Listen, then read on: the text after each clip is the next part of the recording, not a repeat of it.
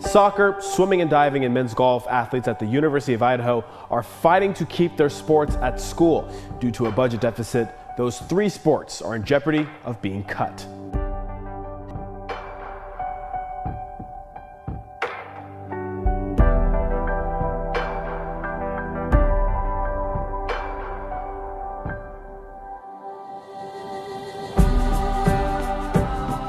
Think I'm walking into a very successful situation, and and so you know, it, for me, it's just learning the team, learning who they are, learning how I can make them better, and I couldn't be more happy to be here.